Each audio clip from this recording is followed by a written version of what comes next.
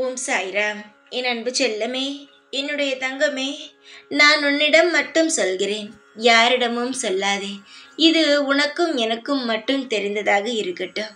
நாளை உன் வாழ்க்கையில் மிகப்பெரிய பிரம்மாண்டமான ஒரு விஷயம் நடக்க போகிறது. இந்த பொன்னான நேரத்தை நான் சொல்லும் இந்த விஷயம் உன் வாழ்க்கையில் நிச்சயமாகவே நடக்கும். என்னுடைய தங்கமே நான் சொல்வதை எப்பொழுதும் முழுமையாக காதில் வாங்கிக்கொள். எப்பொழுதுமே அலட்சியம் வேண்டாம் அதே சமயம் பயமும் வேண்டாம் உன் வாழ்க்கையில் நிறைய முயற்சிகள் எடுத்தாய். அது அனைத்தும் தோல்வியாகவும் இருந்தது. அதே சமயம் வெற்றியும் தந்தது. அதனால் என்ன செய்வது என்றே உனக்கு தெரியவில்லை. எல்லாமே வாழ்க்கையில் கஷ்டங்களாகவே இருக்கிறது என்ற மனம் உடைந்து வாழ்க்கை சரியில்லை.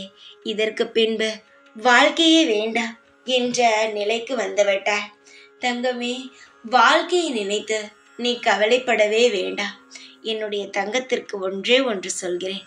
வாழ்க்கை என்பது நம் உருவாக்கும் விதத்தில் தான் இருக்கிறது.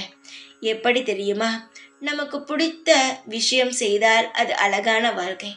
நமக்கு பிடித்த விஷயம் செய்யும் பொழுது அது வெற்றியில் போய் முடிந்தால் அது அழகான வாழ்க்கை.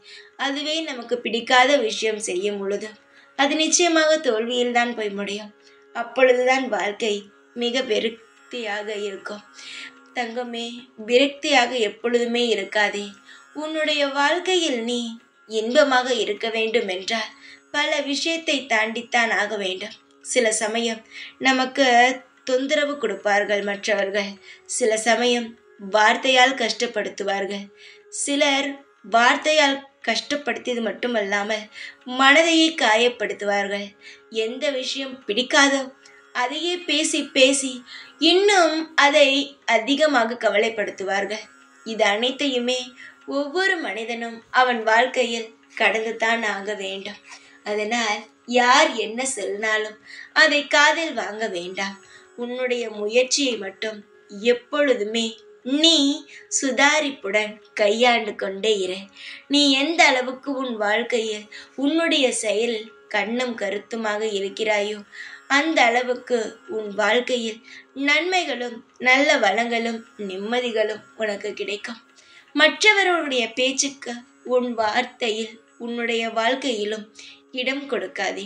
யாராவது ஒரு வார்த்தை பேசினால் அந்த வார்த்தையை நீ திரும்பவும் உபயோகம் செய்யாதே.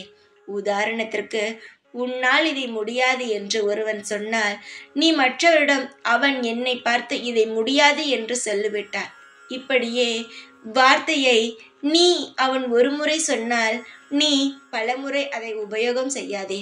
அவன் சொன்னால் சொல்லிவிட்டு போகட்டும். அவனுடைய வாழ்க்கையா இது உன்னுடைய வாழ்க்கை.